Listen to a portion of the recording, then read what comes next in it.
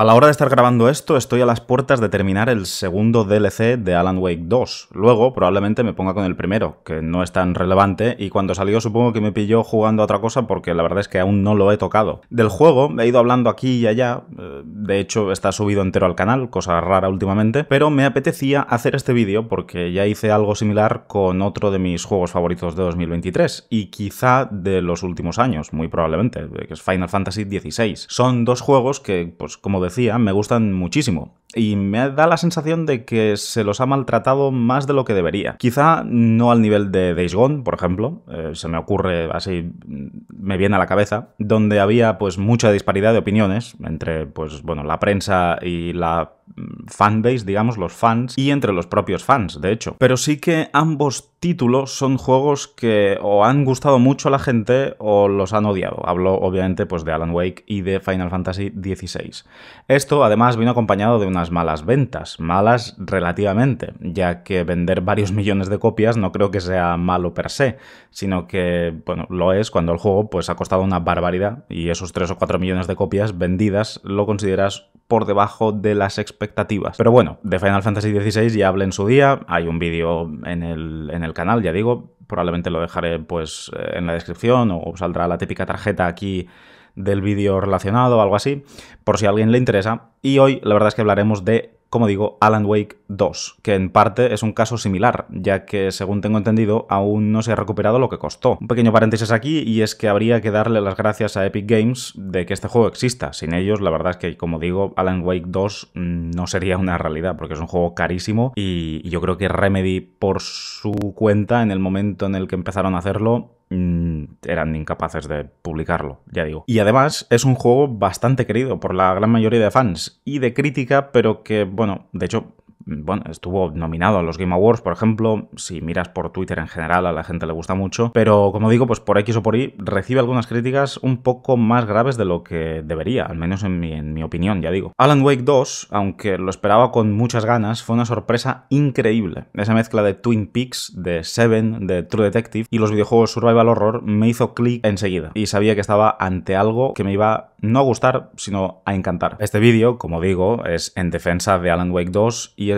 un formato un poco más personal en el que hablo más bien de mis gustos. Es cierto que lo hago en todos los vídeos, pero este es un poco más, mm, sí, introspectivo, por llamarlo de alguna manera. Así que debería empezar hablando un poco de mis gustos. A mí me gusta mucho la ambientación, como digo, pues de Twin Peaks, de la primera temporada de True Detective, que si alguien no la ha visto, por Dios, corred a verla. Y me gustan mucho los survival horror me gusta mucho, pues yo qué sé, Resident Evil 2, el remake especialmente. el remake de Resident Evil 4 también está muy bien. Los Resident Evil en general, básicamente. Eh, últimamente me estaba pasando eh, el Silent Hill 2 remake, increíble. Probablemente sea el mejor survival horror de los últimos años. Aunque ya dije en el vídeo eh, correspondiente que a mí personalmente Alan Wake 2 me estiraba un poco más por el simple hecho, como digo, de la ambientación que tiene. Y es que tiene una ambientación como muy, muy de serie, muy de película, muy, muy yo, tío. No sé por qué, pero me, me, encanta la ambientación. Tiene como esa ambientación de,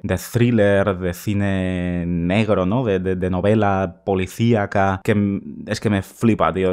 Es una cosa que me encanta, de verdad. Me gusta muchísimo la ambientación de Alan Wake 2. Y me gusta más, como digo, porque está mezclado con ese género de videojuegos que probablemente esté en mi top 3 de género favorito de videojuegos, eh, que es el survival, el survival horror. Pero bueno, lo primero que destaca es su increíble apartado gráfico y artístico. Es que se ve brutal y es una punta de lanza a nivel técnico de lo mejor que se ha visto, al menos dentro de este género, porque, por ejemplo, últimamente ha salido eh, Black Myth Wukong, que se ve muy bien, se ve increíble, pero es otro tipo de juego. Eh, seguimos teniendo, por ejemplo, la segunda entrega de Horizon, que también se ve muy bien, pero a nivel de mundo abierto. Red Dead Redemption 2 se ve increíble también, sobre todo a nivel de iluminación, algunas texturas y, tal todavía, pues bueno, es un juego que ya tiene 6 años y, ya flaquean algunas cositas, pero a nivel de mundo abierto es de lo mejorcito, Cyberpunk 2077, etc. Pero es cierto que a nivel de survival horror, eh, Alan Wake 2 y quizás por ahí este mm, Resident Evil 4, el remake, pues son dos juegos que se ven muy bien, pero lo de Alan Wake 2, si lo pones eh, todo a tope, digamos, eh, en PC, los gráficos al máximo, el, ray tracing, este path tracing o no sé cómo se llama, es increíble, se ve de locos. Y de hecho, estos días, pues se está hablando bastante sobre la versión de PlayStation 5 Pro, porque ni una consola de casi 1000 euros es capaz de moverlo en condiciones. En PC es cierto, al menos con el mío, que yo tengo una 4070 Ti, quiero decir, es una gráfica que está bastante bien. Con el DLSS va, bueno, va bien. Creo que llega a los 60 FPS la gran mayoría de, veces con el ray tracing activado. Ya digo, es un juego que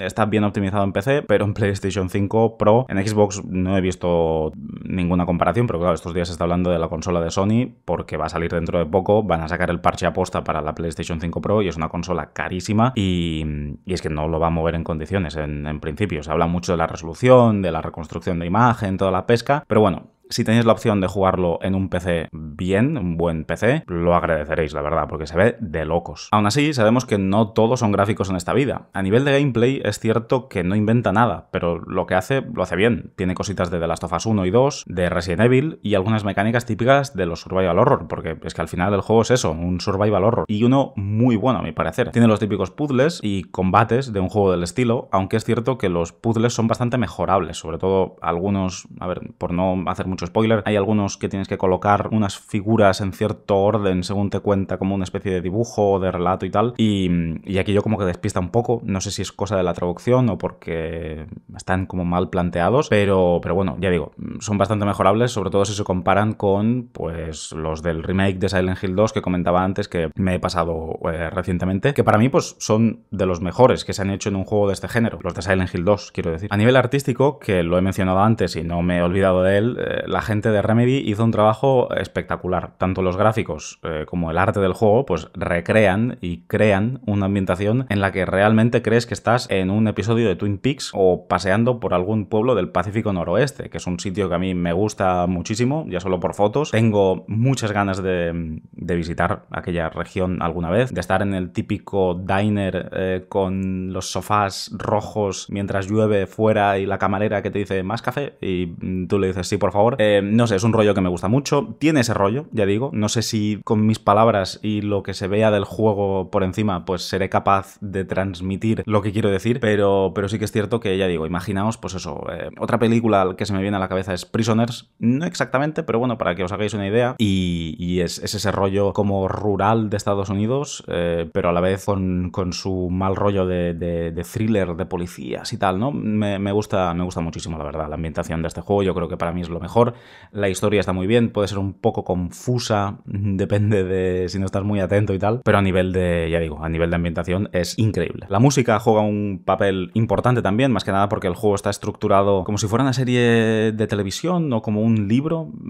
Sí, más bien un libro probablemente porque va por capítulos y entre capítulo y capítulo hay una canción original del juego, quiero decir, le hicieron, hicieron una banda sonora original y la verdad es que está muy bien. A veces me pongo alguna canción, pues yo qué sé, para sacar al perro de mientras o para mm, fregar los platos, no sé. Y ya digo, están bastante bien. La música, como digo, pues en general en los juegos de Remedy como que siempre está presente. También el rollo live action, que para mí probablemente sea el, el juego en el que mejor implementado está, porque, no sé, como que te lo crees muy bien. No sé si ha habido algún cambio a nivel de dirección, de, mm, bueno, de cierta toma de decisiones en cuanto al tema de la implementación live action, pero para mí es, ya digo, el juego en el que mejor implementado está de lejos de bastante lejos. Y la verdad es que para cerrar esto, que tampoco quiero que sea una cosa extremadamente larga, comentar un poco eso, que a mí es un juego que, que ya digo, me gusta muchísimo, es de mis juegos favoritos, de mis juegos favoritos de 2023 y, y ojalá más gente lo juegue. A, a, la hora de estar grabando esto, pues hace poco que ha salido la, la edición física, es que, que, mucha gente lo compre. Parte de la crítica que comentaba al principio viene un poco de por ahí, de que, bueno, no salió eh, en físico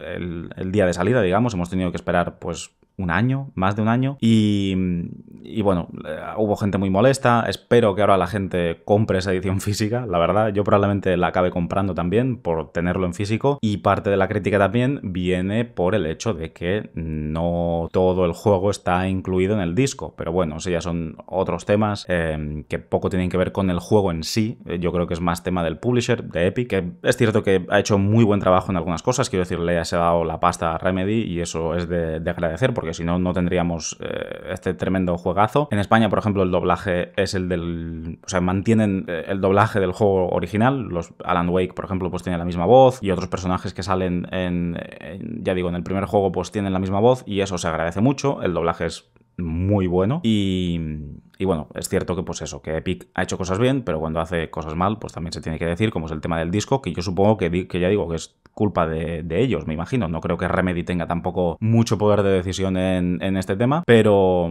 pero sí que espero, ya digo, que a Remedy le vayan bien las cosas. Sam Lake es un tipo que, es genial, a mí me cae, me cae muy bien, no lo conozco, obviamente, pero, pero tiene, no sé, tiene pinta de ser muy buen tío. Esperemos que le vayan bien las cosas a Remedy, que puedan seguir sacando muchos juegos, porque es una empresa ya grandecita, pero con ese alma de como de, indie, ¿no? De, revolucionario, de hacer cosas diferentes, de, no hacer siempre lo mismo. De hecho, no tienen un juego igual. Control, por ejemplo, no tiene nada que ver con, Alan Wake 2. Es que incluso el primer Alan Wake no tiene nada que ver con el segundo. Porque el, segundo, ya digo, es muy, muy survival horror. Y, bueno, veremos a ver qué tal eh, Control 2, a ver qué tal el remake de Max Payne y Max Payne 2, que también le tengo bastantes ganas. Y a ver qué tal ese FC, FBC, FBC eh, Firebreak, el multijugador cooperativo este en, el universo de Control, ambientado en el universo de Control, que tiene muy buena pinta también. Yo, además sale por todo, salen todos los servicios de suscripción, en el Plus, en el Game Pass, em, estará en PC, estará en consola, estará en la Epic Games Store, estará, yo que sé, creo que estará hasta en Stadia, que ya ni siquiera existe, pero lo sacarán ahí también. Así que bien, lo, lo probaré, casi seguro. Y poco más, la verdad, no sé, este vídeo era un poco para comentar lo mucho que me gusta Alan Wake 2, que ya lo dije, pero pues bueno, nunca está, nunca está de más. Y si tenéis dudas sobre si comprar este juego o no, hacedlo. Hacedlo si podéis, sobre todo en físico, que además os incluyen los, los DLCs, hasta donde tengo entendido. Y, si no os apetece hacerlo en físico, pues os lo compráis en digital, pero jugadlo. Jugadlo aunque no os gusten los Survival Horror, no pasa nada. Aunque no os gusten los Resident Evil, el, eh, el juego como tal, como juego de Mm, como historia independiente y casi homenaje al cine de, pues, de David Lynch, de, mm, David Fincher incluso, como homenaje a thrillers de, policías, de misterio. Está muy bien, la verdad. Mm, hacedme caso. Si os gusta también la ambientación que, comento un poco, pues eso, del Pacífico Noroeste, un poco de Taxi Driver por ahí, tiene una mezcla muy, muy interesante y, y yo creo que os puede, os puede gustar, sinceramente.